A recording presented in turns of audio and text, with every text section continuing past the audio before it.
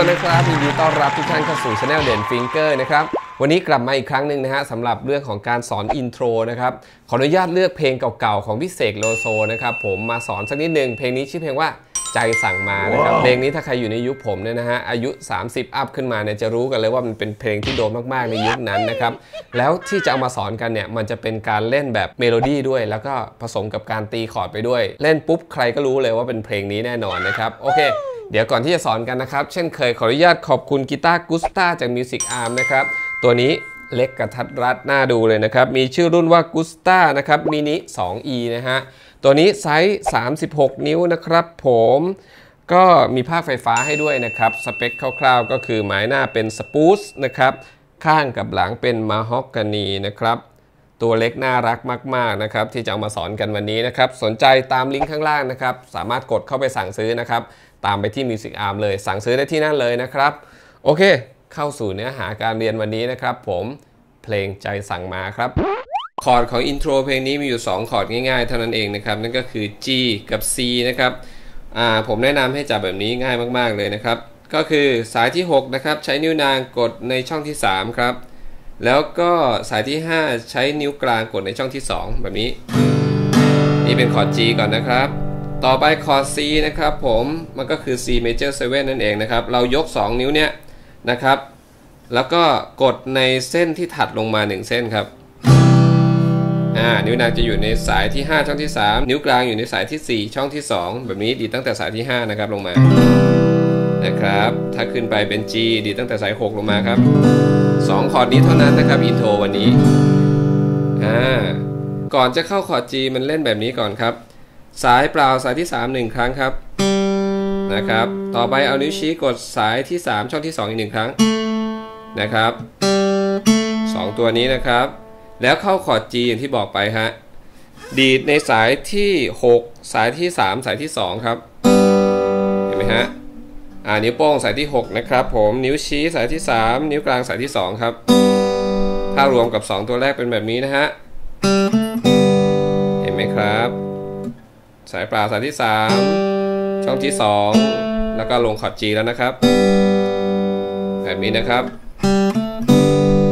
พอลงคอด G เสร็จนะครับ ผมใช้นิ้วชี้กดในสายที่ 3 ช่องที่ 2 ดีดหนึ่งครั้งครับ ตามด้วยสายที่ 2 สายเปล่าอีกหนึ่งครั้งครับ ตามด้วยเอานิ้วชี้ออกนะครับ ผมดีดลงหนึ่งครั้ง 3 ตัวนี้นะครับ สายที่3ช่องที่ 2 สายเปล่าสายที่ 2 ดีดลงหนึ่งครั้งอ่ามันจะเร็วนิดนึงเป็นแบบนี้ครับ แบบนี้นะครับอ่าเมื่อต่อกับช่วงแรกนะครับ เป็นแบบนี้สามสี่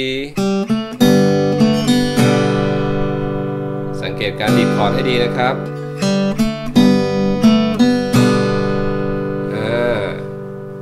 ต่อไปนะฮะ เล่นแบบนี้ ใช้นิ้วชี้เหมือนเดิมนะครับ เล่นเมโลดี้นะครับ สายที่ 2 ช่องที่1 1ครั้งนะครับ สายที่ 2 สายเปล่าอีก1ครั้ง แล้วดีดลงเหมือนเดิมครับอีก1ครั้งนะครับเป็นเห็นไหมฮะลักษณะมันจะเหมือนกับที่เราเล่นสายที่ 3 เลยนะครับ ที่เราเล่นสายที่ 3 ช่องที่2 1 ครั้ง สายเปล่าสายที่ 2 1 ครั้ง แล้วดีดลงนะครับ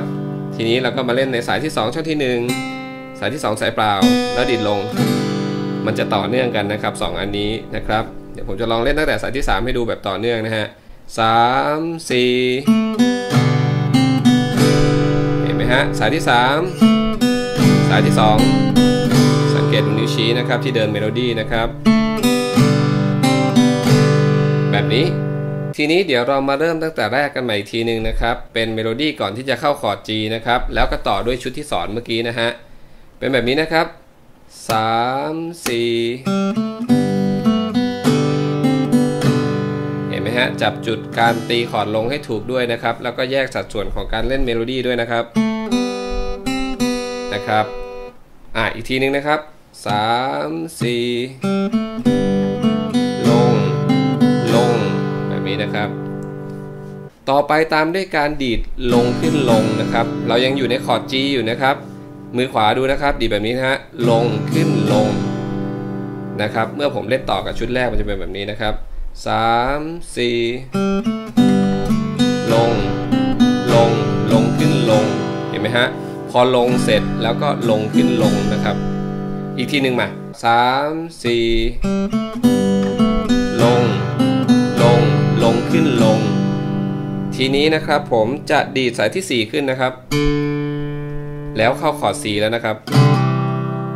นะฮะอยู่ในคอร์ด G ก่อนนะครับ พอลงขึ้นลงเมื่อกี้ลงขึ้นลง ตามด้วยการดีดสายที่ 4 สายเปล่าขึ้นครับ 1 ครั้ง แล้วต่อไปยก 2 นิ้วนี้ฮะลงมาข้างล่าง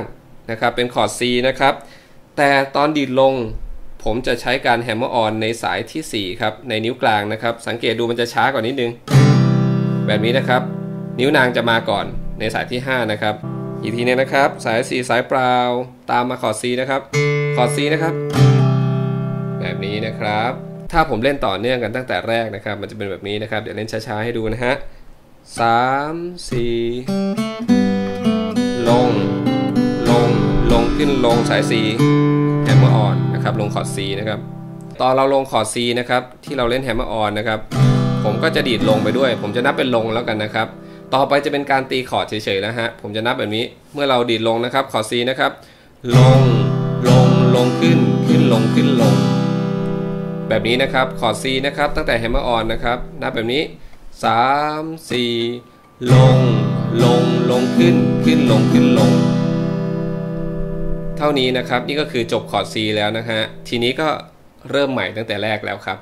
เดี๋ยวเรามาเริ่มพร้อมกันตั้งแต่แรกแบบช้าๆนะครับ เดี๋ยวช่วงแรกๆ ผมจะนับให้ก่อนในสัดส่วนของการตีคอร์ดนะครับ เรื่องของเมโลดี้ก็อย่างที่สอนไปนะครับ ดูที่มือกันเอาเองด้วยนะครับ มา 3 4 ลง ลง ลงขึ้นลง 4 ลง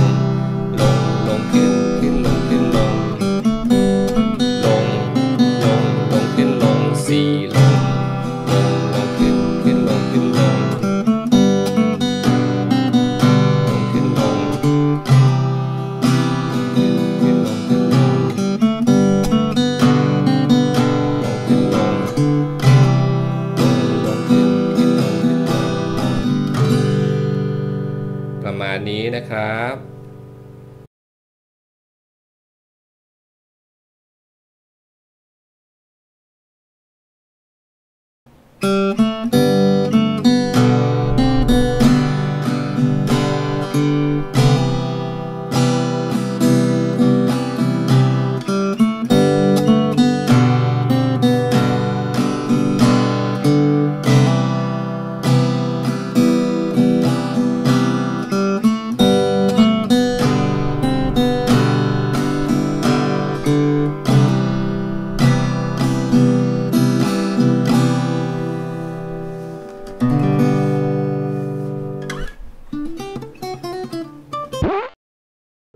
ผ่านไปแล้วนะฮะสำหรับอินโทรเพลงใจสั่งมานะครับผมแบบหล่อๆเลยนะครับ ถ้าใครเล่นได้นะฮะเอาไปฝึกซ้อมกันดูนะครับผม